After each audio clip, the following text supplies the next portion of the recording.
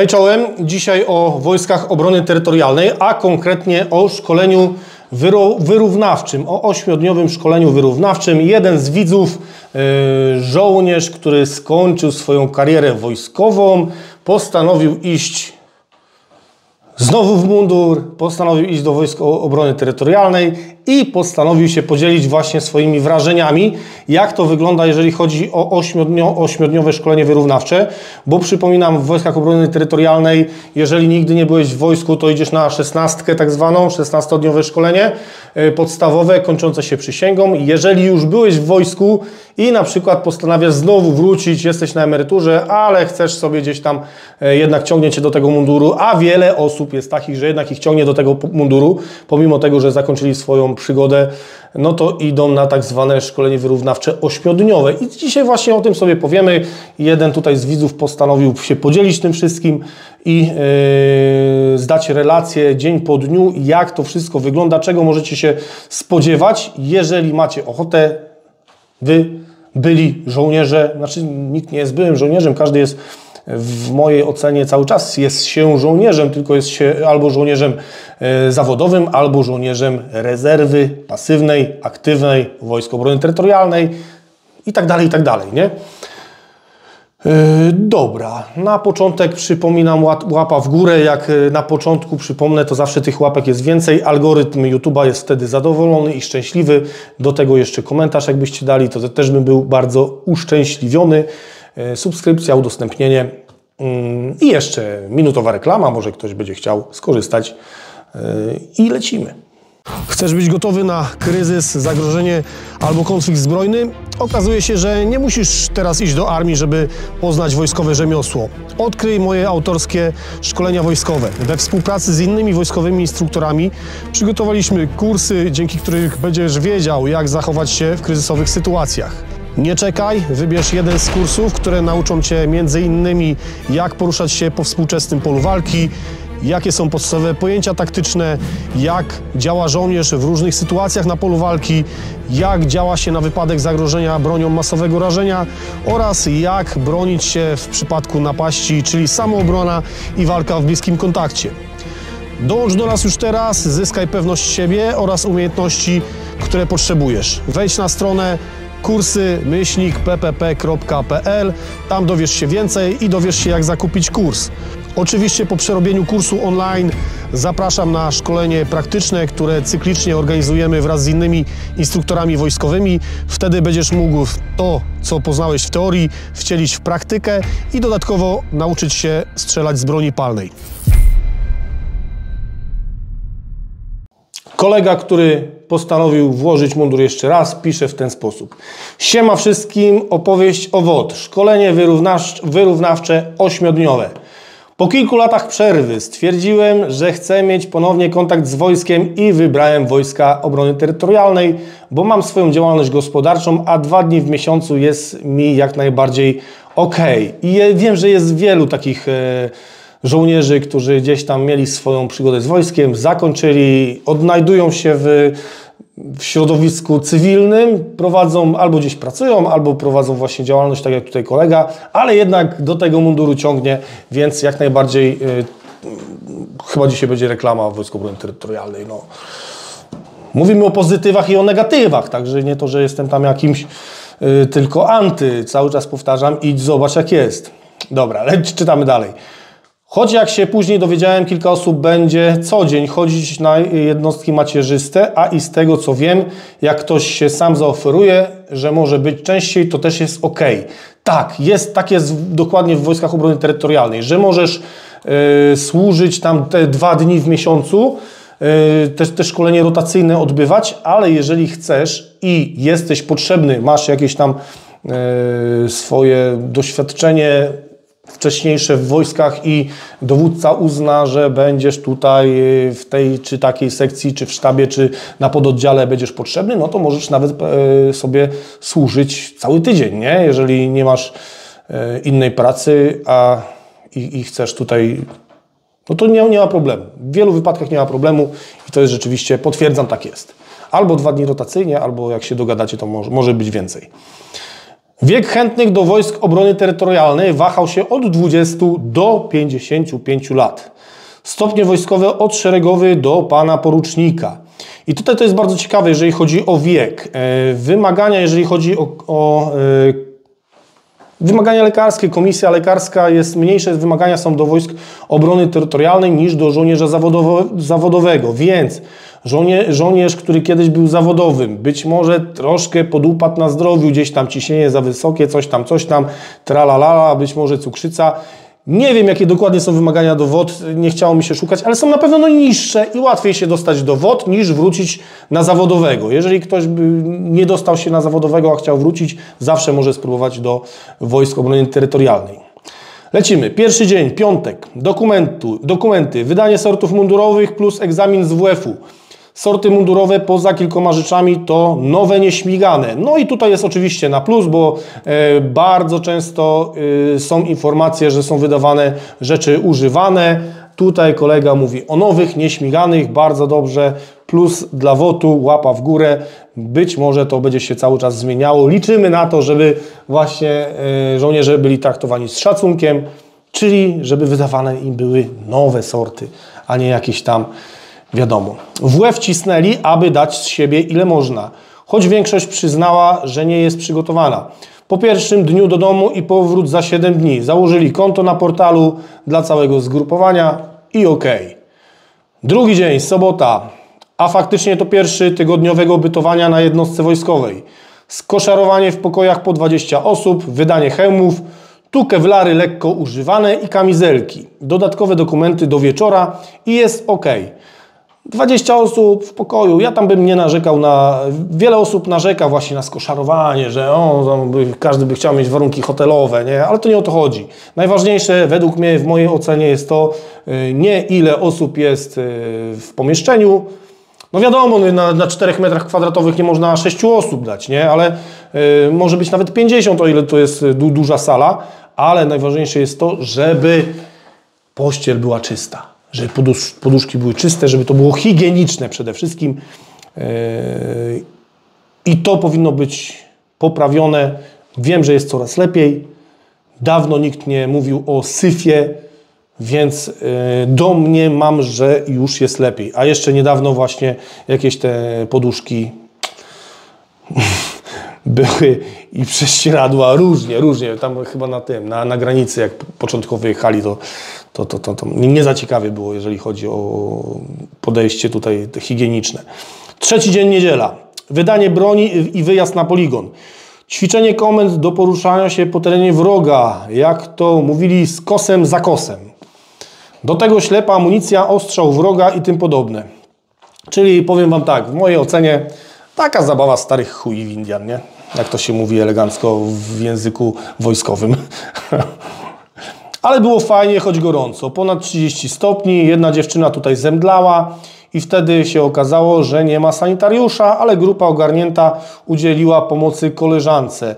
Jeżeli chodzi o tego sanitariusza, to chyba nie jest potrzebny sanitariusz, żeby był na zajęciach taktycznych. Wiem, że na strzelnicy musi być, wymagany jest zespół tam ewakuacji medycznej, a jeżeli chodzi o zajęcia taktyczne, to kontakt z, z, z, z pododdziałem, z jednostką, w razie jakby się coś działo, to pod telefonem przyjeżdżają, ewakuują i tak dalej, ale tutaj udzielili pomocy koleżance, zwykłe omdlenie, więc tragedii nie było. Powrót na jednostkę, dalej szkolenia z przepisów i tym podobne i może źle, ale dobrze wyszło, bo jeden z panów poruczników był ok, a drugi od samego początku wyglądał zachowaniem na zjeba.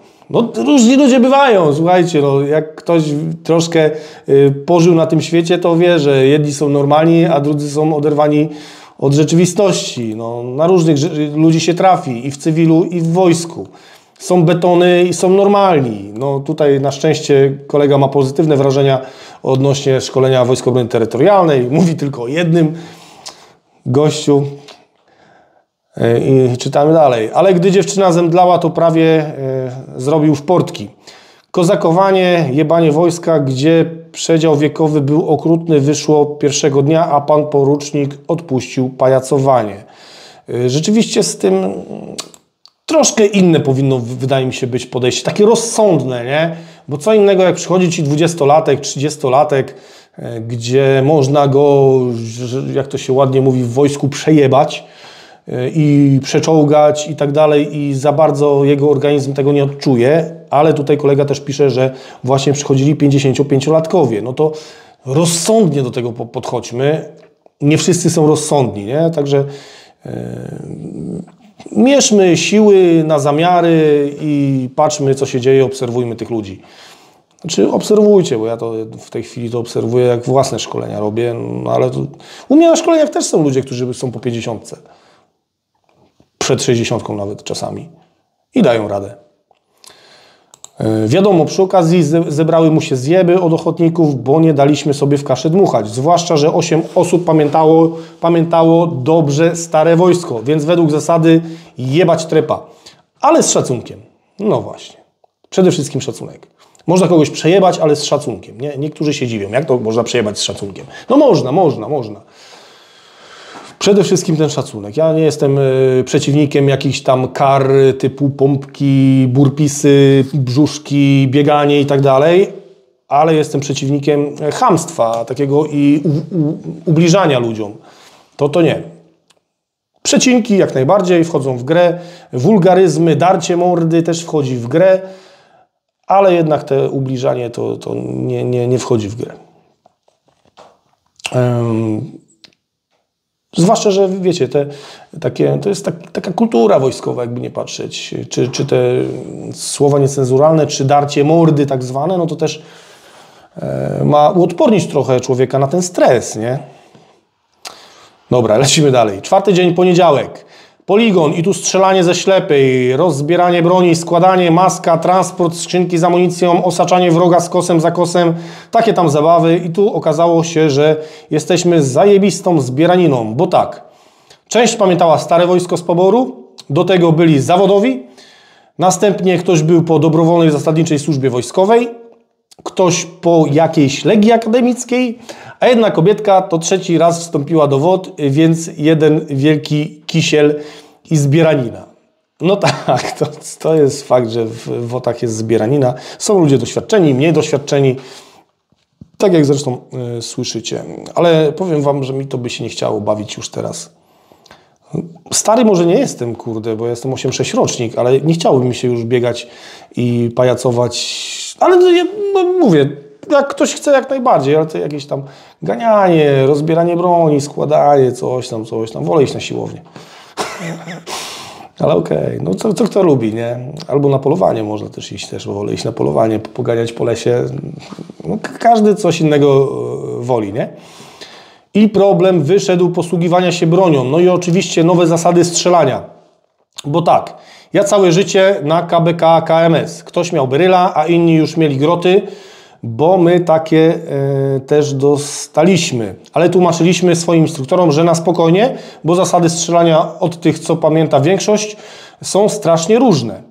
Ale byli wyrozumiali i podchodzili spoko do wszystkich uczestników. Tylko jeden był pierdolnięty i stwierdził, że ma w dupie, kto przejdzie pętlę. Bo, to, bo na koniec tej, tego ośmiodniowego szkolenia jest egzamin, czyli ta pętla taktyczna, dla tych, którzy nie wiedzą to tym samym my mu odpowiadaliśmy w sposób, który docierał do jego zakutego łba. No trafił się jeden instruktor, który miał w dupie, czy oni zdadzą. No, jakiś, jakiś gościu, no, no, no, różni ludzie są, tak jak już mówiłem, nie? Dobra, piąty dzień, wtorek, dalej szkolenie z użycia broni na poligonie i ćwiczenie z nawigacji po lesie i znowu, czyli ternoznawstwo, nie?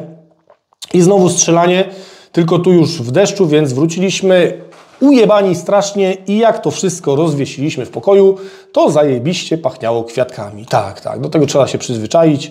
Rzeczywiście, e, jak jeszcze kolega mówił, że 20 osób w jednym pomieszczeniu, no to jak 20 chłopa spoconych, przemoczonych przyjdzie, to rzeczywiście może pachnąć kwiatkami. To są właśnie zalety wojska, że jest tak fajnie, sympatycznie i rzeźko. Szósty dzień, środa. Tu najlepszy dzień. Strzelanie z ostrej pod okiem byłych żołnierzy gromu. Super dzień. Przekazali wiedzę jak tylko mogli, oczywiście w sposób łopatologiczny, ale zrozumiały. Kto nie rozumiał, był wyjebany ze strzelania. No i dwóch takich orzeszków wyłapali i zakazali strzelać, bo goście nie rozumieli że mają ostrą amunicję, a zachowywali się jak w piaskownicy.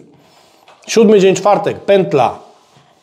Od kilku dni byliśmy podzieleni, podzieleni na sekcje. U mnie było 12 osób, a za sekcję odpowiadał chorąży. Stary trep, normalny gość po kilku misjach. Wywieźli nas na poligon, dali zasobniki górskie, mundury. Wiadomo, każdy miał hełm, broń, po 10 ślepaków, suche żarcie i maski.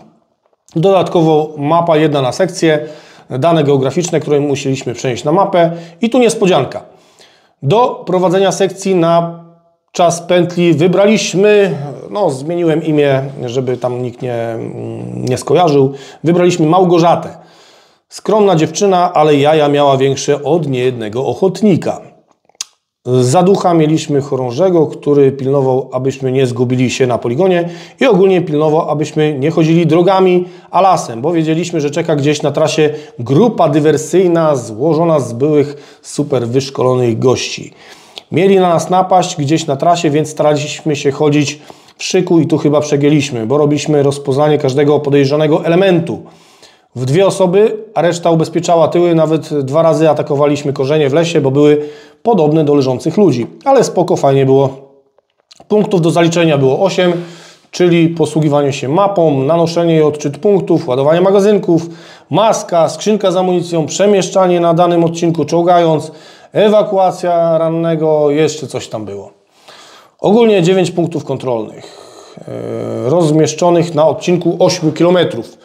I tu u nas akurat zrobiło się 15 km, bo tak uważaliśmy na grupę dywersyjną, że trochę kilometrów nam doszło z 8-15, no ale fajnie było, no to jest właśnie pozytywne, no. Ktoś idzie, podoba mu się, fajnie jest, od tego jest wojsko, trzeba iść zobaczyć. Idźcie zobaczyć do tych wotów, kto się zastanawia, no to dzisiaj mamy przykład tego, że może być fajnie. Idziecie, zobaczycie, to jest, to jest dobrowolna służba nie, nie zasadnicza, ale WOD to też dobro, na dobrowolności polega. Idziesz, patrzysz, nie podoba Ci się, rezygnujesz. Warto z tego skorzystać, póki jest dobrowolne, nie? W efekcie końcowym wyszło super, bo grupa dywersyjna leżała w ukryciu i, czeka, i czekała na nas, a my od dupy strony żeśmy ich zaszli i rozjebali. No.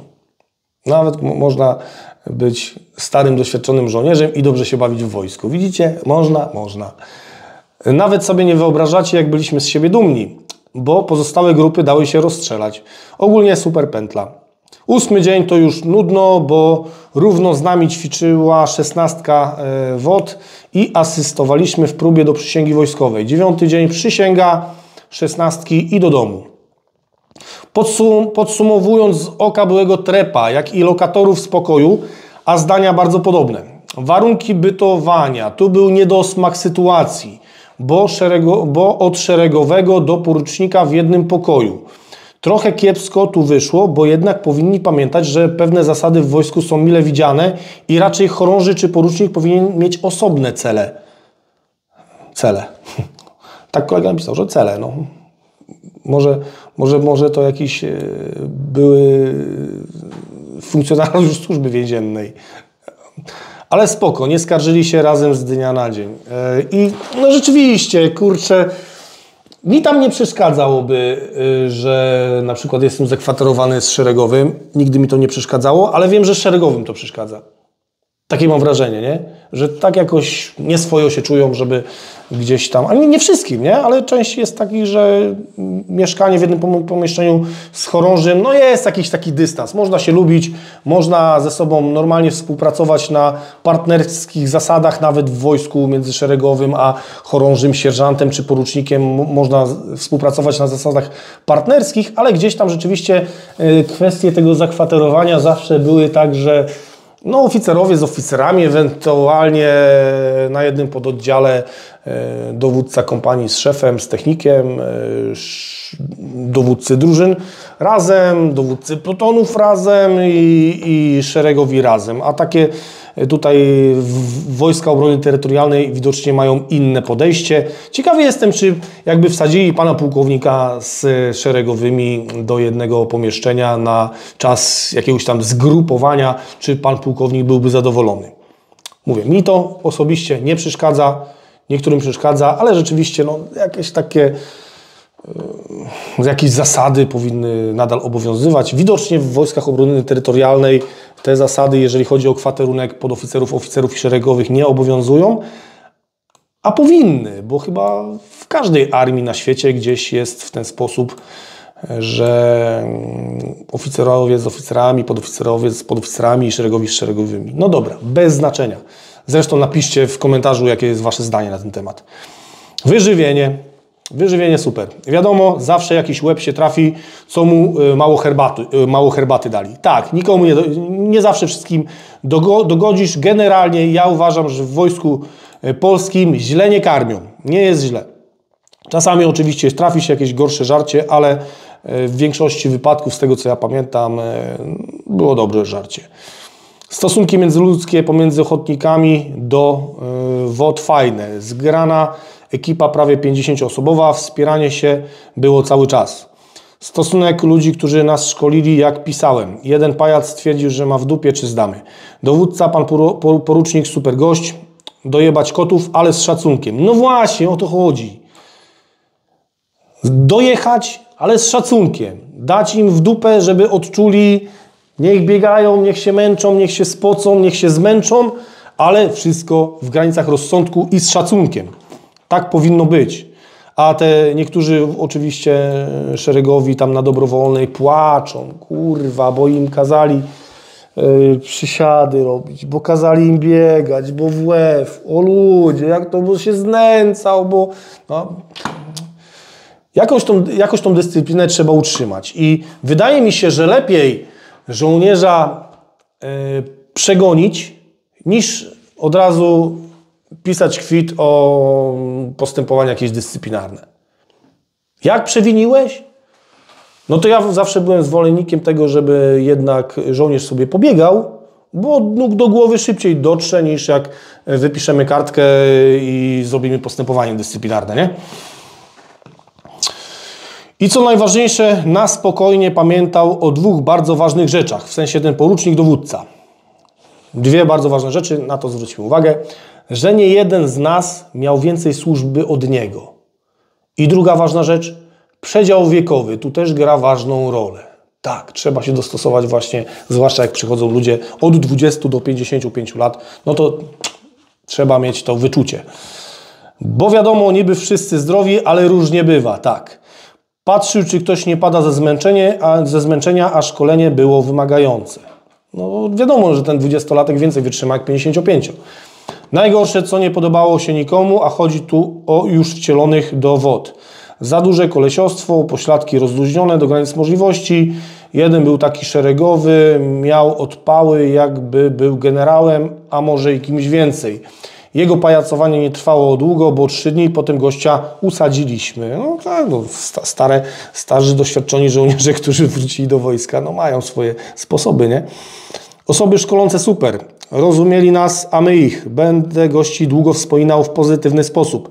Nie pajacowali, wspierali się naszym doświadczeniem, a my ich. Umundurowanie i, i tym podobne. Spoko, szpej może być, wystarczy w zupełności. To jest bardzo na, na plus, nie? takie opinie. Zaangażowanie ochotników bardzo wysokie dla większości, naprawdę szacunek. Jedna dziewczyna chciała zrezygnować, ale jak się reszta ekipy dowiedziała, to dostała reprymendę. Jesteś z nami do końca i faktycznie dała radę. Ogólnie część przyszła dla odmiany w życiu. Te kilka dni w roku przeżyć dla siebie, dla ojczyzny. Trochę ruszyć dupę z fotela i tym podobne. Wiadomo, kilka osób dla kasy, ale czy tu na przykład starszy szeregowy może liczyć na jakąś wielką kasę? Kwestia gustu każdego z osobna. No ja powiem tak, jeżeli y, to nie jest duża kasa, jeżeli, jeżeli jesteś tylko tam dwa dni w miesiącu, bo tam za dyspozycję coś tam płacą, dokładnie już nie pamiętam. E, to nie jest duża kasa, ale jeżeli na przykład e, chcesz, umówisz się z dowódcą tak, że będziesz służył te 5 dni w tygodniu przez cały miesiąc, no to już tam jakaś kasa będzie z tego, nie? No.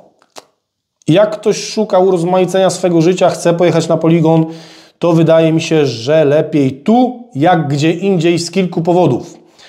Michę dadzą, broń i postrzelać pozwolą. Nowa technika rozeznania w temacie jak najbardziej. Umundurowanie dadzą, wiadomo jakieś kieszonkowe wpadnie. No, same plusy. Z tego co słyszałem, zanim się zapisałem do WOD, to ta grupa wojska jest traktowana tak jakoś pobocznie. I tu może być problem, bo patrząc na tryb szkolenia, nie jedna jednostka może być gorzej wyszkolona od żołnierzy Wojsk Obrony Terytorialnej. I powiem Wam tak, że rzeczywiście yy, dostaję dużo informacji związanych z tym, że rzeczywiście te ośmiodniowe szkolenie wyrównawcze, czy ta szesnastka w Wojsku Obrony Terytorialnej jest bardzo, dużo bardziej intensywna i dużo, dużo więcej ci żołnierze się uczą niż na przykład żołnierze dobrowolnej zasadniczej służby wojskowej na szkoleniu podstawowym, które trwa prawie miesiąc. Tam chyba 28 dni jest, tak? Dokładnie. No, rzeczywiście czasami tak bywa, że ci wotowcy przynajmniej jeżeli chodzi o szkolenie mm, to podstawowe, no to wynoszą więcej. Wiadomo, później ta, jeżeli chodzi o wojsko zawodowe, no to oni mają e, codziennie to szkolenie. No to szybciej zdobywają doświadczenie. Jeżeli chodzi o WOD, no to rotacyjnie, dwa razy w miesiącu, czasami częściej, no to siłą rzeczy to doświadczenie im wolniej e, przychodzi. No tyle. Wiecie, jak wygląda ośmiodniowe szkolenie wyrównawcze, także byli żołnierze, jeżeli mają ochotę wstąpić do Wojsk Obrony Terytorialnej, ja ze, swojego, ze swojej strony polecam. Sam się nie wybieram, bo, bo nie mam czasu i nie chce mi się bawić, jak to ładnie powiedziałem. E, dla mnie to jest zabawa starych chuj w Indian i nie mam już na to ochoty. Nie mam już na to ochoty. Dobra, a mimo wszystko dajcie jeszcze raz na, na koniec, przypomnę, łapa w górę, komentarz taktyczny, subskrypcja, udostępnienie. Jeżeli macie ochotę wesprzeć rozwój kanału, to w opisie pod filmem macie różne opcje wsparcia. Wszystkim wspierającym, oglądającym serdecznie dziękuję. Na dzień dzisiejszy to wszystko. Dzięki. Cześć i czołem.